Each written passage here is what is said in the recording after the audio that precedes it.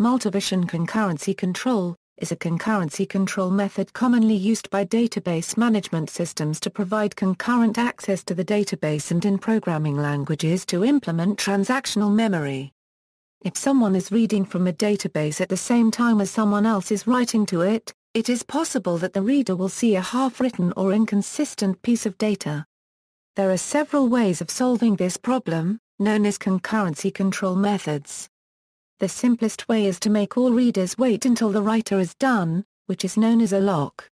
This can be very slow, so MVCC takes a different approach, each user connected to the database sees a snapshot of the database at a particular instant in time. Any changes made by a writer will not be seen by other users of the database until the changes have been completed. When an MVCC database needs to update an item of data, it will not overwrite the old data with new data, but instead mark the old data as obsolete and add the newer version elsewhere. Thus there are multiple versions stored, but only one is the latest. This allows readers to access the data that was there when they began reading, even if it was modified or deleted partway through by someone else. It also allows the database to avoid the overhead of filling in holes in memory or disk structures but requires the system to periodically sweep through and delete the old, obsolete data objects. For a document-oriented database it also allows the system to optimize documents by writing entire documents onto contiguous sections of disk Euro, when updated, the entire document can be rewritten rather than bits and pieces cut out or maintained in a linked, non-contiguous database structure.